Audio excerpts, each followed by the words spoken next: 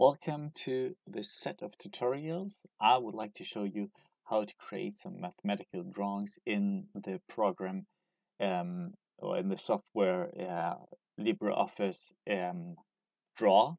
And I've got some, some examples that I did draw in um, Microsoft Word, but you are able to draw this uh, or draw anything you find in a math book uh, with uh, the software uh, LibreOffice Draw.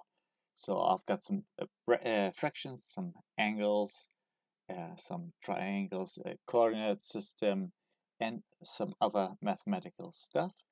And um, some basics you need to know.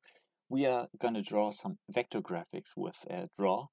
Um, on the left side, we have a raster graphic. If you zoom in, you see um, that you have these pixels and I did draw this example in Microsoft Paint.